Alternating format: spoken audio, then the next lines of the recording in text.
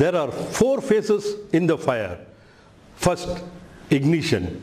Second, developing of fire. That is called surface fire, where the liquid will be there, slowly vapor will be forming on the surface and it will keep burning. Third one, absolute fire. That is the heat goes into the substance or the metal and the metal starts fire. This is absolute fire. Then the fourth one is burning out. All the metal and everything burns out completely until such time fire is on.